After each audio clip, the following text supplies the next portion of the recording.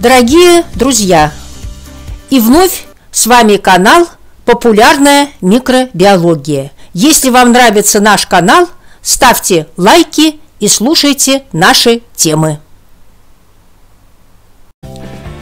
Итак, изменчивость. Записываем таблицу по изменчивости бактерий.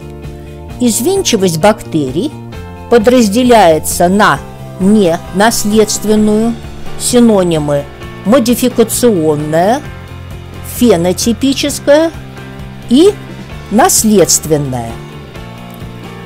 Модификационная изменчивость выражается в изменении формы, размеров микробной клетки, биохимических признаков, антигенных признаков. Разберем на конкретных примерах.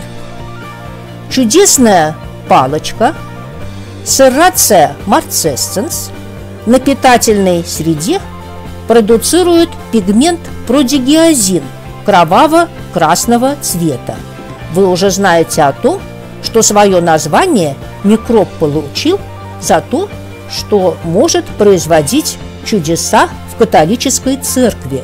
Накануне католических праздников глазницы иконам смазывают культурой чудесной палочки, а на следующий день на глазницах икон появляются кровавые слезы. И священник говорит своим прихожанам о том, что произошло чудо. Икона Богоматери плачет кровавыми слезами. Значит, надо замаливать свои грехи. Вернемся к этому микробу. Чудесная палочка продуцирует продигиазин и дает кроваво-красные колонии. Но при изменении состава питательной среды, добавлении поваренной соли и лактозы пигментообразование утрачивается. Генотипическая изменчивость, она представлена мутациями. Мутации у бактерий – это очень актуальная проблема. Мутации, проблемы, мутации бактерий бывают геномными, хромосомными и генными. Геномная и хромосомная заключаются в интеграции в хромосому и перемещении транспозонов – Генная мутация – это главный механизм изменчивости. Таким образом, мутации – это стойкие наследственные изменения свойств микроорганизма, но они не связаны с рекомбинациями. По происхожденению мутации подразделяются на спонтанная, частота их 10 в минус 5 10 в минус 10. Причина их, как правило, неизвестна. Мутации могут быть индуцированными под влиянием физических и химических мутагенов. Физические мутагены – это ультрафиолетовое облучение, ионизирующее облучение, температура.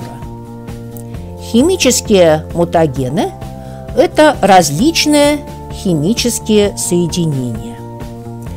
По характеру изменений в структуре дезоксирибонуклеиновой кислоты бывают генная, затрагивают один ген, и хромосомная, это крупные перестройки в отдельных фрагментах ДНК. Мутация широко используется. Например, для получения живых вакцин. Трансформация относится к генетическим рекомбинациям. Сразу отметим, что генетические рекомбинации играют подчиненную роль, а главную роль в эволюции играют мутации. Трансформация – это способность ДНК проникать в клетку – реципиента, и она зависит от природы самой ДНК и от состояния клетки реципиента. Клетки, способные воспринимать донорскую ДНК, называются компетентными. Если студенты фармацевтического факультета первого курса, которые слушают сейчас эту аудиолекцию, находятся в состоянии компетентности, то они имеют достаточный уровень предшествующих знаний, чтобы воспринимать информацию лекционного материала. Трансформирующей активностью обладают двунитевые фрагменты ДНК с определенной молекулярной массой. Впервые явление трансформации у бактерий наблюдал исследователь Гриффитс в 1928 году. При заражении мышей небольшими дозами непатогенной и лишенной капсулы культуры пневмококка второго типа совместно с убитой культурой вирулентного капсульного пневмококка третьего типа все мыши погибли от сепсиса. То есть произошло превращение непатогенного пневмококка в вирулентный за счет приобретения капсул. Конъюгация – еще одна разновидность, относящаяся к наследственной изменчивости. Это перенос генетического материала из клетки донора в клетку реципиента при непосредственном контакте бактерий за счет фактора фертильности. Фактор фертильности, как было сказано ранее, это внехромосомная детерминанта, которая контролирует синтез пилий. Пили – это половые реснички. В процессе конъюгации между бактериями образуется цитоплазматический мостик – Подождем следующего слайда.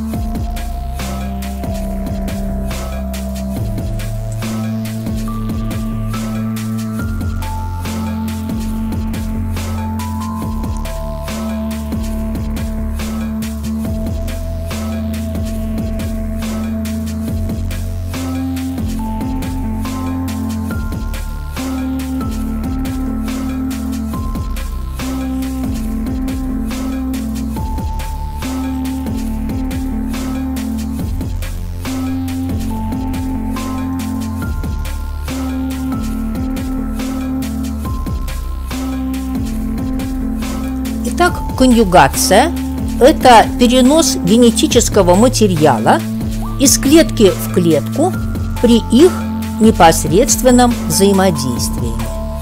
Как уже было сказано, донором является клетка, которая несет F-плазмиду. Процесс конъюгации у бактерий впервые был обнаружен Джошуа Ледербергом и Эдвардом Тейтумом. Третьей разновидностью рекомбинаций является трансдукция. Это передача генетического материала от клетки донора к клетке реципиента с помощью умеренного бактериофага. Напомню материал предыдущей лекции, что умеренным фагом считается фаг, который встраивается генетический материал клетки хозяина. Выделяют два типа трансдукции – неспецифическая или генерализованная. В процессе репродукции фагов в момент сборки в их головку вместе с фаговой ДНК включается фрагмент ДНК бактерии донора фак становится дефектным, то есть утрачивает часть своего гена. При трансдукции фак передает ферментативные признаки, наличие жгутиков, устойчивость к антибиотикам.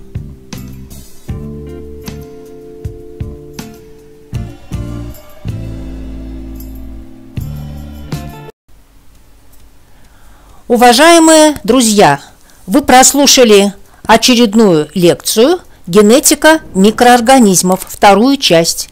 Если вам понравилось, подписывайтесь на наш канал и ставьте лайки. С вами был канал «Популярная микро